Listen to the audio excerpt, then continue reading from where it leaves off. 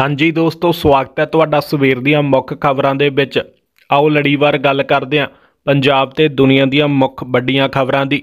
Video ਸ਼ੁਰੂ ਕਰਨ ਤੋਂ ਪਹਿਲਾਂ ਲਾਈਕ ਤੇ ਸ਼ੇਅਰ ਜ਼ਰੂਰ ਕਰ ਦਿਓ ਤੇ ਸਾਡੇ ਨਾਲ ਜੁੜੇ ਰਹਿਣ ਲਈ ਚੈਨਲ ਨੂੰ ਸਬਸਕ੍ਰਾਈਬ ਕਰ ਲਓ।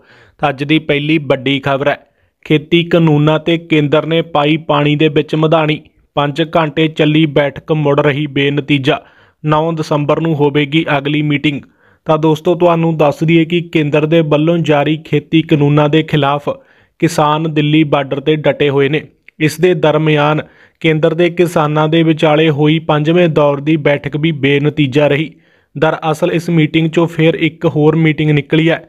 ਹੁਣ ਕਿਸਾਨਾਂ ਤੇ ਕੇਂਦਰ ਵਿਚਾਲੇ 6ਵੇਂ ਦੌਰ ਦੀ ਗੱਲਬਾਤ 9 ਦਸੰਬਰ ਨੂੰ ਬੁੱਧਵਾਰ ਦੁਪਹਿਰ 12 ਵਜੇ ਹੋਵੇਗੀ। ਅਗਲੀ ਖਬਰ ਹੈ, ਬਾਲੀਵੁੱਡ ਅਦਾਕਾਰਾ ਨੇ ਕਿਸਾਨਾਂ ਨੂੰ ਕਿਹਾ ਨਸ਼ੇੜੀ। ਭਿੰਡਰਾਂ ਵਾਲੇ ਬਾਰੇ ਵੀ ਕਹੀ ਵੱਡੀ ਗੱਲ। ਤਾਂ ਦੋਸਤੋ, ਖੇਤੀ ਕਾਨੂੰਨਾਂ ਨੂੰ ਰੱਦ ਕਰਵਾਉਣ ਦੇ ਲਈ ਜਿੱਥੇ ਕਿਸਾਨ ਲਗਾਤਾਰ ਦਸੰਬਰ ਦੀਆਂ ਠੰਡੀਆਂ ਰਾਤਾਂ ਵਿੱਚ ਖੁੱਲੇ ਸਮਾਨ ਥੱਲੇ ਵਿਰੋਧ ਪ੍ਰਦਰਸ਼ਨ ਕਰ ਰਹੇ ਨੇ, ਉੱਥੇ ਹੀ ਇਸ ਦੇਸ਼ ਵਿਆਪੀ ਅੰਦੋਲਨ ਦਾ ਹੁਣ ਕਈ ਲੋਕ ਫਾਇਦਾ ਚੁੱਕਣ ਦੀ ਕੋਸ਼ਿਸ਼ ਵੀ ਕਰ ਰਹੇ ਨੇ। ਖਾਸ ਕਰਕੇ ਬਾਲੀਵੁੱਡ ਨਾਲ ਜੁੜੀਆਂ ਕਈ ਅਦਾਕਾਰਾਂ ਕਿਸਾਨਾਂ ਦੇ ਅੰਦੋਲਨ ਤੇ ਬਿਆਨਬਾਜ਼ੀ ਕਰਕੇ ਪ੍ਰਸਿੱਧੀ ਹਾਸਲ ਕਰਨਾ ਚਾਹੁੰਦੀਆਂ ਨੇ। ਪਹਿਲਾਂ ਕੰਗਣਾ ਰਣੌਤ ਨੇ ਬੇਬੇ ਮਹਿੰਦਰ ਕੌਰ ਤੇ ਟਿੱਪਣੀ ਕੀਤੀ ਤੇ ਹੁਣ ਪਾਇਲ ਰੋਹਤਗੀ ਨੇ ਕਿਸਾਨਾਂ ਤੇ ਟਿੱਪਣੀ ਕਰਦੇ ਹੋਏ ਪ੍ਰਦਰਸ਼ਨਕਾਰੀ ਕਿਸਾਨਾਂ ਨੂੰ ਨਸ਼ੇੜੀ ਦੱਸਿਆ ਪਾਇਲ ਨੇ ਭਿੰਡਰਾਂ ਵਾਲੇ ਬਾਰੇ ਵੀ ਵੱਡੀ ਗੱਲ ਕਹੀ ਹੈ। ਪਾਇਲ ਨੇ ਦਲਜੀਤ ਦੋਸਾਂਝ ਵੱਲੋਂ ਕੰਗੜਾ ਰਣੌਤ ਦੀ ਟਿੱਪਣੀ ਤੇ ਵੀ ਦਿੱਤੀ ਪ੍ਰਤੀਕਿਰਿਆ ਬਾਰੇ ਕਾਫੀ ਕੁਝ ਕਿਹਾ ਅਗਲੀ ਖਬਰ ਹੈ, ਦਲਜੀਤ ਦੋਸਾਂਝ ਨੇ ਕਿਸਾਨਾਂ ਦੀ ਮਦਦ ਦੇ ਲਈ ਦਿੱਤੇ 1 ਕਰੋੜ ਰੁਪਏ। ਤਾਂ ਦੋਸਤੋ, ਤੁਹਾਨੂੰ ਦੱਸ ਦਈਏ ਕਿ ਦਲਜੀਤ ਨੇ ਦਿੱਲੀ ਦੇ ਵਿੱਚ ਵਿਰੋਧ ਪ੍ਰਦਰਸ਼ਨ ਕਰ ਰਹੇ ਕਿਸਾਨਾਂ ਦੇ ਲਈ ਸਰਦੀਆਂ ਦੇ ਕੱਪੜੇ ਖਰੀਦਣ ਦੇ ਵਾਸਤੇ 1 ਕਰੋੜ ਰੁਪਏ ਦਾਨ ਕੀਤੇ ਨੇ। ਹਾਲਾਂਕਿ ਦਲਜੀਤ ਦੋਸਾਂਝ ਨੇ ਖੁਦ ਆਪ ਇਸ ਬਾਰੇ ਪੁਸ਼ਟੀ ਨਹੀਂ ਕੀਤੀ, ਪਰ ਪੰਜਾਬੀ ਗਾਇਕ ਸਿੰਘਾ ਨੇ ਆਪਣੇ ਇੰਸਟਾਗ੍ਰam ਸਟੋਰੀ ਤੇ ਇਸ ਖਬਰ ਨੂੰ ਸ਼ੇਅਰ ਕੀਤਾ ਅਗਲੀ ਖਬਰ ਹੈ, ਖੇਤੀਬਾੜੀ ਮੰਤਰੀ ਨੇ ਕਿਸਾਨਾਂ ਨੂੰ ਕਿਹਾ, ਅੰਦੋਲਨ ਤੇ ਬੈਠੇ ਬੱਚੇ ਤੇ ਬਜ਼ੁਰਗ ਘਰ ਚਲੇ ਜਾਣ, ਆਖਰ ਕੀ ਹੈ ਕੇਂਦਰ ਦਾ ਮਨਸੂਬਾ? ਤਾਂ ਦੋਸਤੋ, ਕੇਂਦਰੀ ਖੇਤੀ ਕਾਨੂੰਨਾਂ ਖਿਲਾਫ ਡਟੇ ਕਿਸਾਨਾਂ ਨੂੰ ਪੰਜਵੇਂ ਦੌਰ ਦੀ ਮੀਟਿੰਗ ਦੇ ਮੰਗਰੋਂ ਖੇਤੀਬਾੜੀ ਮੰਤਰੀ ਨਰਿੰਦਰ ਸਿੰਘ ਤੋਮਰ ਨੇ ਕਿਸਾਨਾਂ ਨੂੰ ਅਪੀਲ ਕੀਤੀ ਹੈ ਕਿ ਬਜ਼ੁਰਗ ਤੇ ਬੱਚੇ ਘਰ ਚਲੇ ਜਾਣ। ਇਸ ਦੇ ਜਵਾਬ ਦੇ ਵਿੱਚ ਕਿਸਾਨਾਂ ਦਾ ਕਹਿਣਾ ਹੈ ਕਿ ਸਾਡੇ ਕੋਲ 1 ਸਾਲ ਦਾ ਖਾਣ ਪੀਣ ਦਾ ਸਮਾਨ ਹੈ। ਕਿਸਾਨਾਂ ਨੇ ਕਿਹਾ ਕਿ ਪਿਛਲੇ ਕੁਝ ਦਿਨਾਂ ਤੋਂ ਅਸੀਂ ਸੜਕਾਂ ਤੇ ਆ ਜੇਕਰ ਸਰਕਾਰ ਚਾਹੁੰਦੀ ਹੈ ਕਿ ਅਸੀਂ ਸੜਕਾਂ ਤੇ ਹੀ ਰਹੀਏ, ਤਾਂ ਸਾਨੂੰ ਕੋਈ ਦਿੱਕਤ ਨਹੀਂ ਹੈ, ਪਰ ਅਸੀਂ ਹਿੰਸਾ ਦਾ ਰਾਹ ਨਹੀਂ ਅਪਣਾਵਾਂਗੇ। ਇੰਟੈਲੀਜੈਂਸ ਬਿਊਰੋ ਤੁਹਾਨੂੰ ਦੱਸਣਗੇ ਕਿ ਅਸੀਂ ਪ੍ਰਦਰਸ਼ਨ ਸਥਾਨ ਤੇ ਕੀ ਕਰ ਰਹੇ ਹਾਂ। ਅਗਲੀ ਖਬਰ ਹੈ 10 ਦਸੰਬਰ ਨੂੰ ਪੀਐਮ ਮੋਦੀ ਰੱਖਣਗੇ ਨਵੇਂ ਸੰਸਦ ਭਵਨ ਦੀ ਨੀਂਹ। ਤਾਂ ਦੋਸਤੋ, ਦੇਸ਼ ਦੇ ਪ੍ਰਧਾਨ ਮੰਤਰੀ 10 ਦਸੰਬਰ ਨੂੰ ਨਵੇਂ ਸੰਸਦ ਭਵਨ ਦੀ ਨੀਂਹ ਰੱਖਣਗੇ। ਇਸ ਦੇ ਦੌਰਾਨ ਵਿਰੋਧੀ ਧਿਰ ਨੇ ਕੁਝ ਲੀਡਰਾਂ ਨੂੰ ਨਿਉਰਾ ਦਿੱਤਾ ਜਾਵੇਗਾ। ਮੌਜੂਦਾ ਸੰਸਦ ਭਵਨ ਬੇਹੱਦ ਪੁਰਾਣੇ ਤੇ ਸੀਮਤ ਥਾਂ ਦੀ ਵਜ੍ਹਾ ਵਿੱਚ ਆਪਣਾ ਛੋਟਾ ਪੈਣ ਲੱਗਿਆ। ਇਸ ਦੇ ਲਈ ਨਵੇਂ ਭਵਨ ਦੀ ਲੋੜ ਲੰਮੇ ਸਮੇਂ ਤੋਂ ਮਹਿਸੂਸ ਕੀਤੀ ਜਾ ਰਹੀ ਹੈ। ਨਵੇਂ ਸੰਸਦ ਭਵਨ ਦਾ ਨਿਰਮਾਣ ਕਰੀਬ 850 ਕਰੋੜ ਰੁਪਏ ਦੀ ਲਾਗਤ ਨਾਲ ਹੋਵੇਗਾ। ਅਗਲੀ ਖਬਰ ਹੈ, ਕਿਸਾਨਾਂ ਦੇ ਵੱਲੋਂ ਵੱਡਾ ਐਲਾਨ। ਕਿਹਾ, ਅਸੀਂ ਸਰਕਾਰ ਦੇ ਪ੍ਰਸਤਾਵ ਨਹੀਂ ਸਵੀਕਾਰਾਂਗੇ। ਤਾਂ ਦੋਸਤੋ, ਕਿਸਾਨ ਸੰਗਠਨ ਦੇ ਆਗੂ ਖੇਤੀ ਕਾਨੂੰਨਾਂ ਬਾਰੇ ਕੇਂਦਰ ਸਰਕਾਰ ਨਾਲ ਪੰਜਵੇਂ ਦੌਰ ਦੀ ਗੱਲਬਾਤ ਕਰਨ ਲਈ ਵਿਗਿਆਨ ਭਵਨ ਪਹੁੰਚੇ ਸਨ। ਦੁਆਬਾ ਕਿਸਾਨ ਸੰਘਰਸ਼ ਕਮੇਟੀ ਦੇ ਹਰਸੂਲ ਇੰਦਰ ਸਿੰਘ ਦਾ ਕਹਿਣਾ ਹੈ ਕਿ ਅਸੀਂ ਕਾਨੂੰਨ ਰੱਦ ਕਰਵਾਉਣਾ ਚਾਹੁੰਦੇ ਹਾਂ। ਅਸੀਂ ਕਾਨੂੰਨਾਂ ਵਿੱਚ ਸੋਧ ਕਰਨ ਦੇ ਸਰਕਾਰ ਦੇ ਪ੍ਰਸਤਾਵ ਨੂੰ ਸਵੀਕਾਰਾਂਗੇ ਨਹੀਂ। ਅਗਲੀ ਖਬਰ ਹੈ, ਕਿਸਾਨਾਂ ਦੇ ਸਮਰਥਨ ਦੇ ਵਿੱਚ ਆਈਆਂ ਮੁਲਾਜ਼ਮ ਜਥੇਬੰਦੀਆਂ। ਟਿੱਕਰੀ ਅਤੇ ਸਿੰਘੂ ਬਾਰਡਰ ਤੇ ਕਰਨਗੇ ਪ੍ਰਦਰਸ਼ਨ। ਤਾਂ ਦੋਸਤੋ, ਤੁਹਾਨੂੰ ਦੱਸ ਦਈਏ ਕਿ ਖੇਤੀ ਕਾਨੂੰਨਾਂ ਦੇ ਖਿਲਾਫ ਅੰਦੋਲਨ ਕਰ ਰਹੇ ਕਿਸਾਨਾਂ ਦੇ ਸਮਰਥਨ ਦੇ ਵਿੱਚ ਹੁਣ ਹਰਿਆਣਾ ਦੇ ਕਰਮਚਾਰੀ ਸੰਗਠਨ ਵੀ ਉੱਤਰ ਆਏ ਨੇ। ਸੀਟੂ ਦੇ ਸੂਬਾ ਪ੍ਰਧਾਨ ਆਨੰਦ ਸ਼ਰਮਾ ਅਤੇ ਸਰਬ ਕਰਮਚਾਰੀ ਸੰਘ ਹਰਿਆਣਾ ਦੇ ਪ੍ਰਧਾਨ ਸਿਲਕ ਰਾਮ ਨੇ ਕਿਹਾ ਕਿ ਅਸੀਂ ਦੋਵੇਂ ਸੰਗਠਨ ਕਿਸਾਨਾਂ ਦੇ ਸਮਰਥਨ ਵਿੱਚ ਟਿੱਕਰੀ ਅਤੇ ਸਿੰਘੂ ਬਾਰਡਰ ਤੇ ਜ਼ੋਰਦਾਰ ਪ੍ਰਦਰਸ਼ਨ ਕਰਨਗੇ ਅਤੇ तमाम ਪਿੰਡਾਂ ਦੇ ਪੱਧਰ ਤੇ ਪ੍ਰਧਾਨ ਮੰਤਰੀ ਨਰਿੰਦਰ ਮੋਦੀ ਦੇ ਪੁਤਲੇ ਵੀ ਸਾੜੇ ਜਾਣਗੇ ਅਗਲੀ ਖਬਰ ਹੈ ਖੇਤੀ ਕਾਨੂੰਨਾਂ ਦੇ ਵਿੱਚ ਅੰਬਾਨੀ ਅਤੇ ਅੰਡਾਨੀ ਦਾ ਹੱਥ ਵਾਇਰਲ ਵੀਡੀਓ ਦਾ ਕੀ ਹੈ ਸੱਚ ਤਾਂ ਦੋਸਤੋ ਤੁਹਾਨੂੰ ਦੱਸ ਦਈਏ ਕਿ ਕਿ ਕਿਸਾਨਾਂ ਵੱਲੋਂ ਤਿੰਨ ਖੇਤਰੀ ਕਾਨੂੰਨਾਂ ਨੂੰ ਰੱਦ ਕਰਵਾਉਣ ਦੇ ਲਈ ਕਿਸਾਨ ਦਿੱਲੀ ਬਾਰਡਰ ਤੇ ਡਟੇ ਹੋਏ ਨੇ ਅਜਿਹੇ ਦੇ ਵਿੱਚ ਖੇਤੀ ਕਾਨੂੰਨਾਂ ਬਾਰੇ ਕਈ ਵੀਡੀਓਜ਼ ਵਾਇਰਲ ਹੋ ਰਹੀਆਂ ਨੇ। ਅਜਿਹੇ ਦੇ ਵਿੱਚ ਇੱਕ ਵੀਡੀਓ ਵਾਇਰਲ ਹੋ ਰਹੀ ਹੈ, ਜਿਸ ਵਿੱਚ ਕਿਹਾ ਜਾ ਰਿਹਾ ਹੈ ਕਿ ਖੇਤੀਬਾੜੀ ਮੰਤਰੀ ਨਰਿੰਦਰ ਤੋਮਰ ਦੇ ਮੂੰਹੋਂ ਕਿਸਾਨ ਨਾਲ ਮੀਟਿੰਗ ਦੌਰਾਨ ਨਿਕਲਿਆ ਕਿ ਅੱਜ ਤੁਹਾਡੇ ਕਹਿਣ ਤੇ ਮੈਂ ਖੇਤੀ ਕਾਨੂੰਨ ਰੱਦ ਤਾਂ ਕਰ ਦੇਵਾਂ, ਤਾਂ ਕੱਲ ਨੂੰ ਅੰਬਾਨੀ ਅਤੇ ਅਡਾਨੀ ਆ ਕੇ ਮੈਨੂੰ ਫੇਰ ਕਹਿਣ, ਕਾਨੂੰਨ ਬਣਾਓ। ਇਹ ਵੀਡੀਓ ਵਾਇਰਲ ਹੋ ਰਹੀ ਹੈ। ਇਸ ਵਿੱਚ ਜੋ ਬੋਲਿਆ ਜਾ ਰਿਹਾ, ਉਹ ਸੱਚ ਨਹੀਂ ਹੈ। ਇਹ ਤੱਤ ਸਾਹਮਣੇ ਆਏ ਨੇ ਕਿ ਅੰਬਾਨੀ ਵੱਲੋਂ ਅਜਿਹਾ ਕਦੇ ਵੀ ਨਹੀਂ ਕਿਹਾ ਗਿਆ। ਅਗਲੀ ਖਬਰ ਹੈ, ਹਰਿਆਣਾ ਦੇ ਕਿਸਾਨਾਂ ਨੇ ਮੋਦੀ ਦੇ ਲਈ ਤਿਆਰ ਕੀਤਾ 5 ਕਿਲੋ ਦਾ ਲੱਡੂ। ਆਖਰ ਕੀ ਹੈ ਵਜ੍ਹਾ? ਤਾਂ ਦੋਸਤੋ, ਹਰਿਆਣਾ ਦੇ ਜੀਂਦ ਦੇ ਕਿਸਾਨਾਂ ਨੇ ਮੋਦੀ ਸਰਕਾਰ ਨੂੰ ਮਨਾਉਣ ਦਾ ਅਨੋਖਾ ਤਰੀਕਾ ਕੱਢਿਆ ਜੀਂਦ ਦੇ ਕਰਸੋਲਾ ਪਿੰਡ ਦੇ ਕਿਸਾਨਾਂ ਨੇ ਪ੍ਰਧਾਨ ਮੰਤਰੀ ਨਰਿੰਦਰ ਮੋਦੀ ਦੇ ਲਈ 5 ਕਿਲੋ ਬੂੰਦੀ ਦਾ ਲੱਡੂ ਤਿਆਰ ਕੀਤਾ ਤੁਹਾਨੂੰ ਦੱਸ ਦਈਏ ਕਿ 5 ਦਸੰਬਰ ਨੂੰ ਦਿੱਲੀ ਮੀਟਿੰਗ ਹੋਣ ਤੋਂ ਬਾਅਦ ਸਰਕਾਰ ਦੇ ਵਿਚਾਲੇ ਚਰਚਾ ਦੇ ਵਿੱਚ ਕੜਵਾਹਟ ਘਟ ਗਈ ਹੈ। ਇਸ ਦੇ ਲਈ ਇਹ ਲੱਡੂ ਭੇਜਿਆ ਗਿਆ ਅਗਲੀ ਖਬਰ ਹੈ, ਕਿਸਾਨੀ ਅੰਦੋਲਨ ਦੇ ਵਿੱਚ ਮਾਰੇ ਗਏ ਕਿਸਾਨਾਂ ਦੇ ਪਰਿਵਾਰਾਂ ਦੇ ਲਈ ਆਪ ਦੇ ਵੱਲੋਂ 2 ਲੱਖ ਰੁਪਏ ਦੇਣ ਦਾ ਐਲਾਨ। ਤਾਂ ਦੋਸਤੋ, ਆਮ ਆਦਮੀ ਪਾਰਟੀ ਪੰਜਾਬ ਨੇ ਕਿਸਾਨ ਅੰਦੋਲਨ ਦੇ ਦੌਰਾਨ ਸ਼ਹੀਦ ਹੋਏ ਖਟੜਾ ਦੇ ਕਿਸਾਨ ਗੱਜਨ ਸਿੰਘ ਦੇ ਪਰਿਵਾਰ ਦੇ ਲਈ 2 ਲੱਖ ਰੁਪਏ ਦੇਣ ਦੀ ਮਦਦ ਦਾ ਐਲਾਨ ਕੀਤਾ ਹੈ।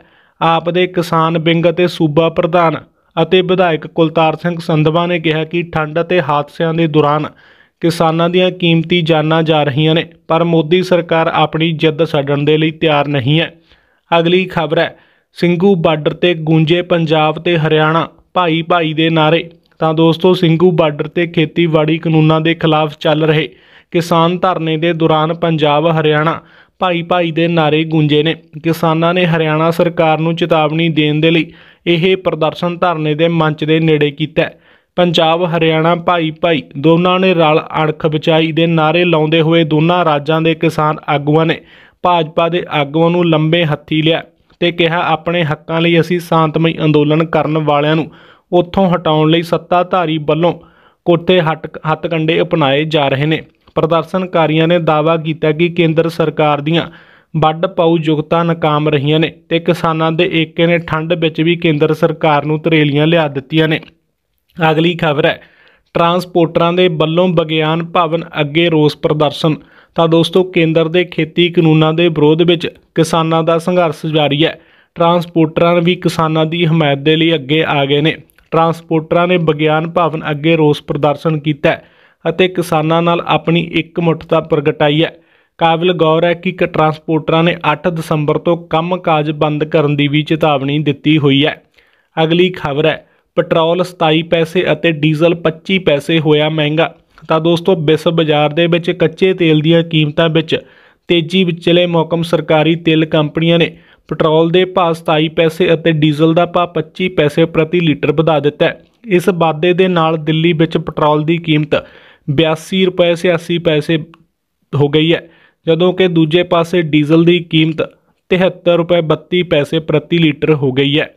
ਅਗਲੀ ਖਬਰ ਹੈ, ਖੇਤੀ ਕਾਨੂੰਨਾਂ ਦੇ ਵਿੱਚ ਪੇਸ਼ ਕੀਤੀਆਂ ਸੋਧਾਂ ਮਨਜ਼ੂਰ ਨਹੀਂ, ਉਗਰਾਹਾਂ। ਤਾਂ ਦੋਸਤੋ, ਭਾਰਤੀ ਕਿਸਾਨ ਯੂਨੀਅਨ ਏਕਤਾ ਉਗਰਾਹਾਂ ਦੇ ਕਿਸਾਨ ਜਥੇਬੰਦੀਆਂ ਦੀ ਬੀਤੇ ਦਿਨੀ ਕੇਂਦਰੀ ਮੰਤਰੀਆਂ ਨਾਲ ਹੋਈ ਮੀਟਿੰਗ ਬਾਰੇ ਸੂਬਾ ਕਮੇਟੀ ਦੇ ਵਿੱਚ ਸਮੀਖਿਆ ਕਰਨ ਦੇ ਮੰਗਰੋਂ ਕੇਂਦਰੀ ਮੰਤਰੀਆਂ ਵੱਲੋਂ ਖੇਤੀ ਕਾਨੂੰਨਾਂ ਦੇ ਵਿੱਚ ਸੋਧਾ ਕਰਨ ਦੀ ਪੇਸ਼ਕਸ਼ ਨੂੰ ਮੁੱਢੋਂ ਰੱਦ ਕਰਦਿਆਂ ਪੰਜੋ ਕਾਨੂੰਨਾਂ ਨੂੰ ਮੁਕੰਮਲ ਵਾਪਸੀ ਤੱਕ ਸੰਘਰਸ਼ ਜਾਰੀ ਰੱਖਣ ਦਾ ਐਲਾਨ ਕੀਤਾ।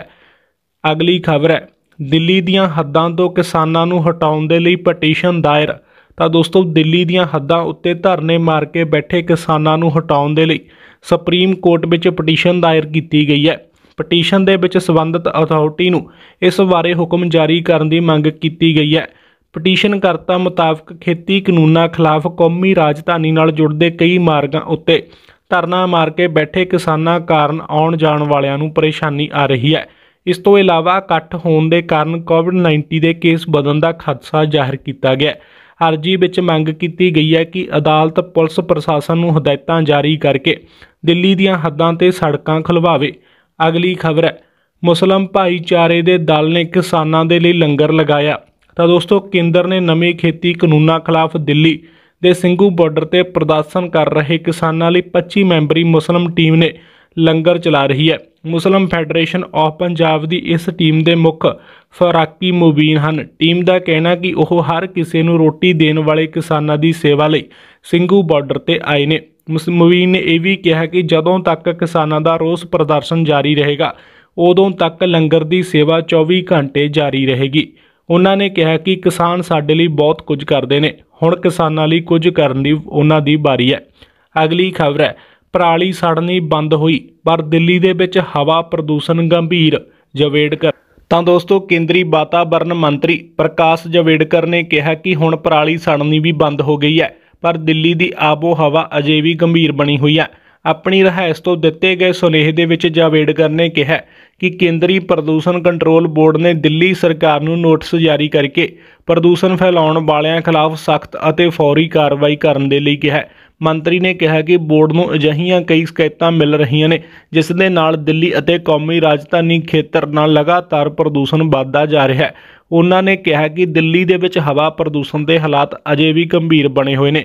ਪਰਾਲੀ ਸਾੜੇ ਜਾਣ ਦੀਆਂ ਘਟਨਾਵਾਂ ਰੁਕ ਗਈਆਂ ਨੇ, ਪਰ ਦਿੱਲੀ ਦਾ ਹਵਾ ਗੁਣਵੱਤਾ ਇੰਡੈਕਸ ਅਜੇ ਵੀ ਬਹੁਤ ਮਾੜੀ ਸ਼੍ਰੇਣੀ ਦੇ ਵਿੱਚ ਹੈ। ਅਗਲੀ ਖਬਰ ਹੈ, ਭਾਰਤ ਦੇ ਵਿੱਚ ਕਰੋਨਾ ਕੇਸਾਂ ਦੀ ਗਿਣਤੀ 95.71 ਲੱਖ ਹੋਈ।